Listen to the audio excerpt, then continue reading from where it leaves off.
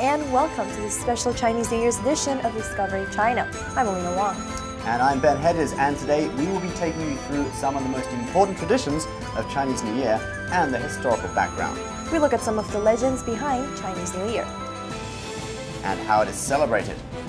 Here in the US and by Chinese across the world. The Chinese have a very specific way of celebrating the New Year.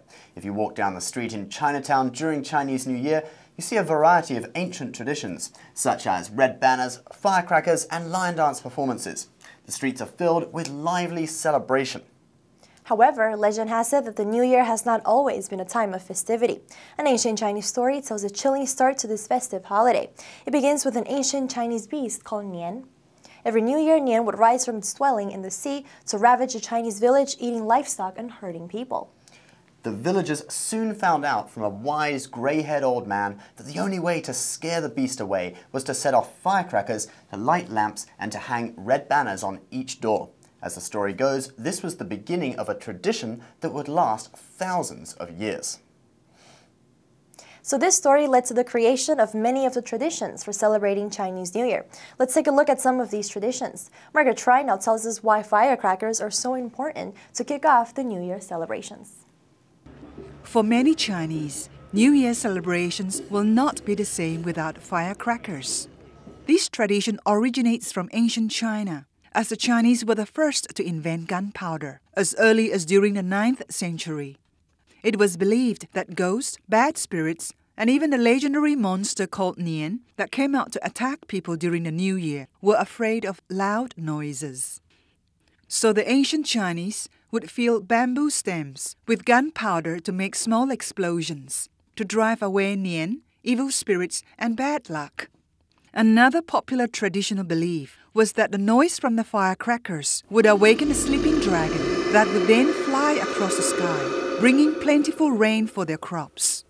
Today, in most countries, for safety issues, it is illegal for individuals to light firecrackers. But this tradition persists.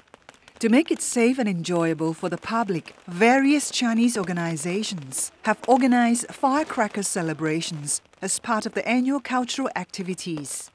Since 2000, the Chinese American community in New York City has been organizing the annual Chinatown Lunar New Year firecracker ceremony that attracts more than 200,000 visitors.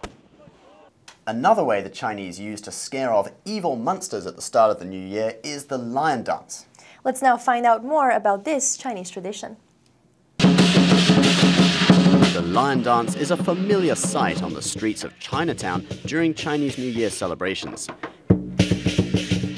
This is a traditional, lively dance that combines art, history, and culture with the rigors of Chinese martial arts movements. The two dancers form the lion. One holds the lion's head and forms the front part of the lion's body, while the second dancer forms the body and the tail of the lion. Together, they prance about to the rhythm of drums, cymbals, and a gong. The lion symbolizes courage, strength, and authority. According to traditional Chinese belief, loud music can frighten away ghosts, evil spirits, and the Nian, the Chinese legendary monster that would come out to attack and kill people during the new year.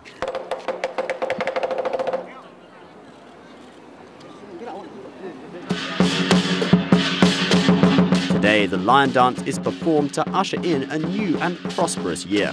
It involves the ritual of the lion plucking the greens, or cai qing. The Chinese word cai to pluck sounds like the word for wealth, also pronounced cai. Thus, a typical performance involves the lion plucking vegetables that are placed on the table or hung from a ceiling with a red packet outside the business premises. This auspicious ritual is believed to bring in good luck and wealth to the business. If you walk around a Chinese village during the new year, you will see a lot of red banners stuck on people's doors. Now, these banners are messages of good fortune for the new year. An old Chinese tradition of hanging red banners for New Year was one of the methods used to scare away the beast Nian. Now these banners contain auspicious messages of goodwill and harmony when the Lunar New Year comes around. Some of the banners contain corresponding Chinese poetic couplets, known as chunlian or spring couplets. These are placed on the entrance of houses during the Chinese New Year. These Chinese couplets, which are pasted on either side of a doorway, are sometimes also accompanied by a third idiom located on the top of the door. Here is a common chunlian about the coming of spring. 冬去山明水秀. Winter is gone, the mountains are clear and water sparkles. 春来鸟语花香. Spring comes, birds sing and flowers fragrant. 大地回春 the whole earth returns to spring. Another common banner is the single character spring, chun, or good fortune, fu, except they are posted upside down. This comes from a play on words. The Chinese character that means backwards or upside down, dao, is pronounced the same way as the character for arrive, dao. So if you have the banner spring posted upside down, it implies that spring has arrived. Chun dao. A common Chinese saying which is seen on many banners also contains a play on words, nian nian you yu. When read aloud, sounds like have fish every year. The meaning of this saying actually comes from another homophone. The Chinese character yu, which means fish, sounds exactly like the Chinese character that means abundance. So the banner means abundance throughout the year. Sometimes it is written as abundance and sometimes as fish, usually accompanied by fish swimming around on the poster. Whether it's abundance through the year or just an abundance of fish through the year, the Chinese have always liked to paste these banners come holiday season. Though there is no longer the looming threat of Nian the beast, people still hang these posters to wish people joy, prosperity, and good fortune throughout the year. So, Alina, for Westerners, Christmas is our most important celebration, and we get lots of presents. What do you guys get at Chinese New Year? Well, Ben, in Chinese families, we give each other red packets with money inside. Unlike the Western custom of giving presents, during Chinese New Year, it is customary practice to give and receive red packets, a hongbao in Chinese. This is a small red rectangular envelope for putting money in to give away as a gift. The envelope is red because in traditional Chinese culture, red is considered a lucky color. It's believed to ward off evil spirits and to bring good fortune to the receiver. Hence, most red packets are decorated with auspicious Chinese symbols or characters such as happiness and prosperity. Today, red packets come in all kinds of different designs besides the more traditional ones. Traditionally, the older generation gives the red packet to the younger generation.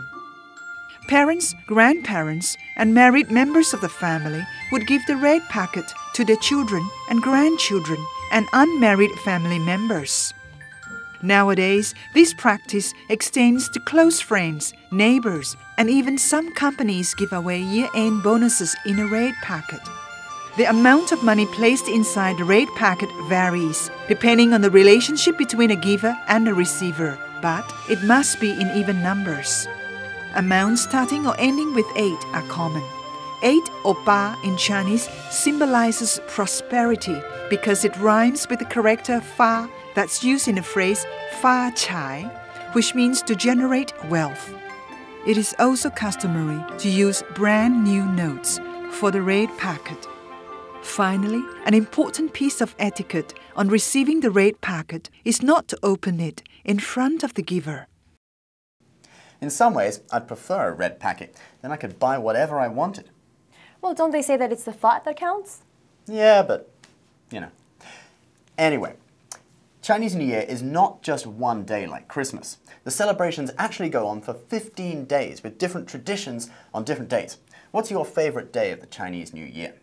Well, Ben, I would have to say it is New Year's Eve when all families gather and make dumplings together. What about you, Ben? Well, for a Westerner, I've certainly had my fair share of Chinese New Year celebrations. When I lived in Hong Kong as a child, my favorite day was the last day of Chinese New Year, Yuan Xiaojie, or Lantern Festival. We used to go to the beach with lanterns, and when I spent a year studying in Taiwan, I found out that the Taiwanese go to town even more with the lanterns. Check this out.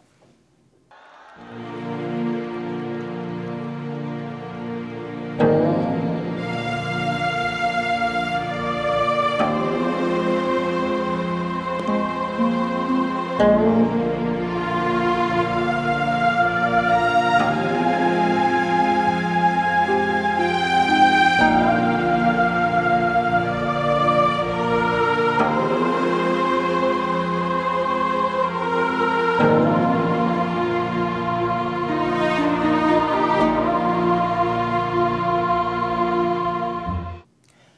was living in Taiwan, I lived with the Taiwanese host family, and during the new year, we spent many days eating. The host family even gave me red packets. One of my favorite New Year's foods is tang yuan. It's a sweet rice ball with black sesame or peanut sauce inside, and it's served in a sweet soup. And it's normally served on Yuan Xiaojie, my favorite day of the Chinese New Year.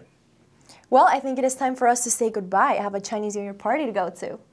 Starting early, I see, Alina. Well, we won't have a show for you next week because we'll be busy celebrating Chinese New Year, but you can still catch some of our videos online. But for now, 新年快乐